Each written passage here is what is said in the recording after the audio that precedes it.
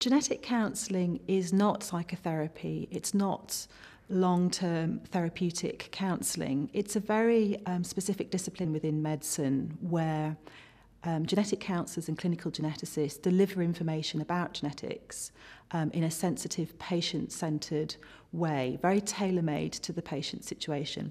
Genetic counselling deals with the whole family, so it's not just about an individual patient.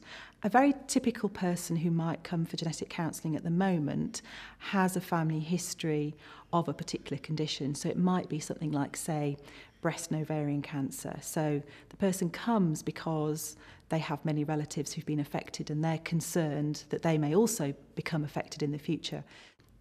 So as genomics moves into mainstream medicine, it will be used across many areas of the health service. Oncology, dermatology, ENT, um, in paediatrics, in obstetrics. It's going to be used across the board. For many patients, it's going to be cheaper and easier to look at a whole genome. So you're using the information that you get from the sequence to work out a disease prediction, um, to work out whether a diagnosis is, is correct or not. You're working out whether a patient might respond to certain treatments.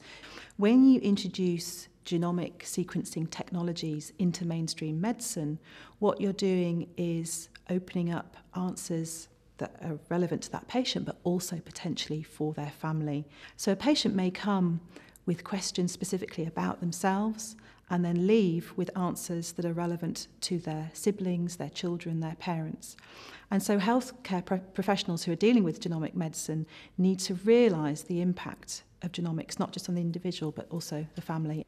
So as we move forward, um, we need to understand whether it's going to be genetic counsellors who are doing genomic counselling or whether it's going to be genetic counsellors helping to train and support the mainstream healthcare workforce to do genomic counselling or whether across mainstream medicine people just will be having conversations using genomic data and it won't be genomic counselling. All of these things are up in the air and genetic counsellors need to be part of the conversation and it's a really exciting and proactive time for the genetic counselling profession.